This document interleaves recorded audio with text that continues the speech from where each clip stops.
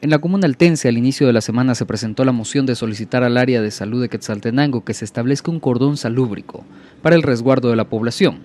Los dirigentes de esta dependencia gubernamental se presentaron ante el Consejo para realizar coordinaciones en torno a medidas de información en prevención a crisis de psicosis por esta enfermedad.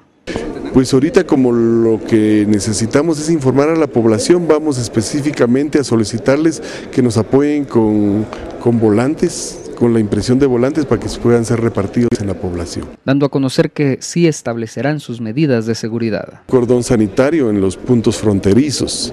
Nosotros tendríamos que hacer eh, también un cordón sanitario, pero eh, el cordón sanitario creo que hay una, como que la gente no tiene claro en qué consiste el cordón sanitario. Pues el cordón sanitario no es más que hacer eh, un monitoreo de los casos nuevos yo creo que es válido y nosotros de, de hecho lo estamos haciendo. Información veraz, Jorge Colopi, Hamilton Mendoza, primera línea Quetzaltenango.